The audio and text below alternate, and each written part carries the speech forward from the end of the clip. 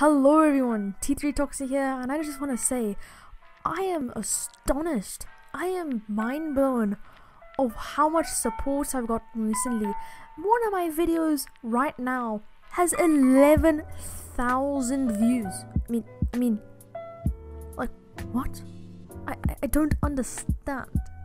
See, my brain can't, yeah, I just can't understand it, bro.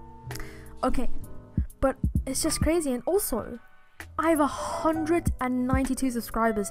The video before this video, I had 72 subscribers. Okay, now my rant's over, let's get right into the video. So you'll probably already know what this video is about. It's about how to lower your ping in Fortnite and lower your ping in general. And if you are having a lot of packet loss in Fortnite, then this should really help you. If it doesn't help you, maybe you have another maybe you have a different type of problem. But guys, I really think this might help you. So just give it a try. So the first thing you want to do is go onto your web browser, mine's Chrome, search up TCP optimizer. And now, make sure it's exactly those words. The first link will be www.speedguide.net downloads make sure that this is exact link. Now click on that. Then it should bring you to a page similar to this. What you want to do is you want to go to the TCP optimizer. You'll have a different number, but chances are you'll probably have the same number, but the latest stable release. So as you can see, I've got Windows 10, and there's mine there. And then just click on that and it should download it for you. Once you've downloaded it, you can drag it onto your desktop, but what you need to do is you need to go into your search bar and you need to search for TCP Optimizer.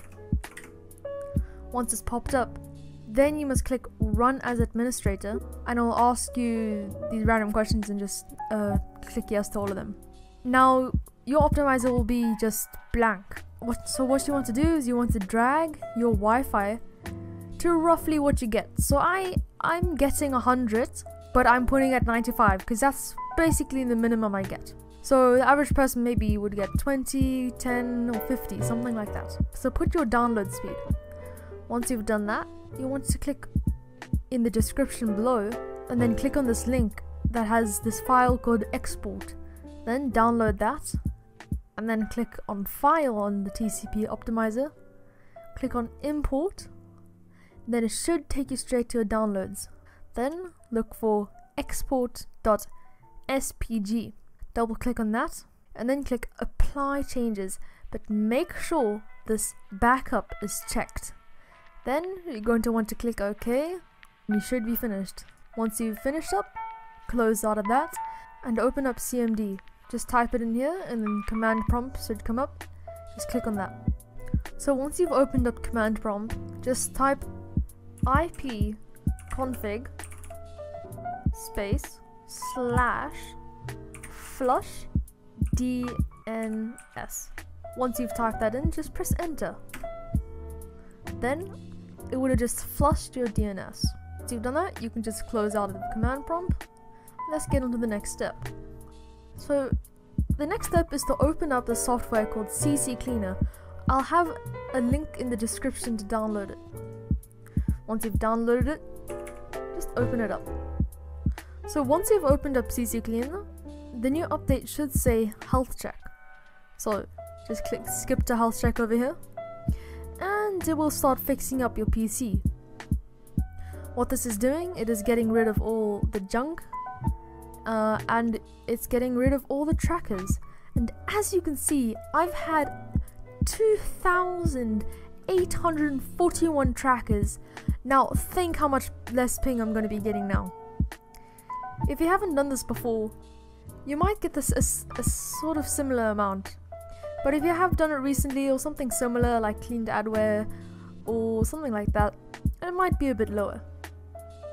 Here, as you can see, it's cleaned a total of 21 gigabytes of junk to remove.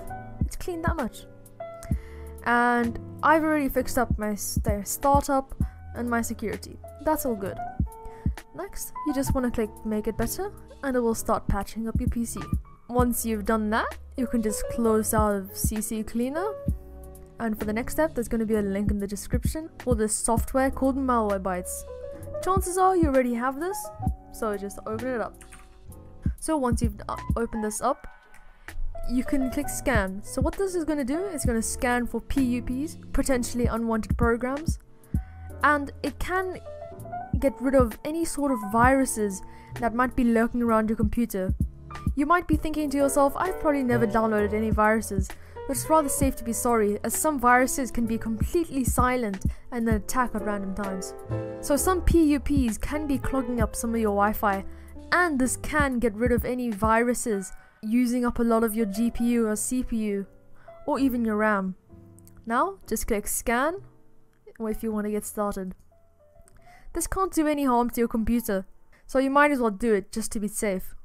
My scan may take a lot less time than yours does. This is just because I frequently scan my computer in case I've downloaded any viruses, just to be safe. And once the scan is complete and notifications pop up, just close that out. And you might have a few PUPs. So, if you have any of those detected, there should be a button somewhere around here saying quarantine. Just click that, and then it might tell you to restart your PC to confirm all the things that it needs to quarantine.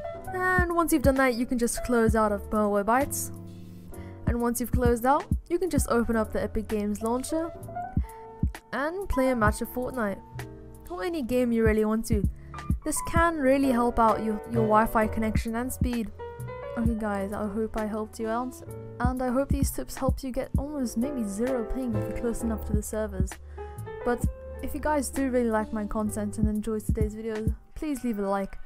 But if you love my YouTube channel, please subscribe. I would like to thank everybody for the support again, but also I just want to say these videos that I create take a lot of time and effort to make. So please consider subscribing. Okay guys, I hope you enjoyed, and I'm sorry I haven't posted in about a week, but I think I might have to have a weekly schedule, as the coronavirus has made my whole country in lockdown, and it might seem to you that I have a lot of spare time on my hands, but it's a bit difficult because everyone's going frantically crazy, so I'll see you in the next one, and that's it from me.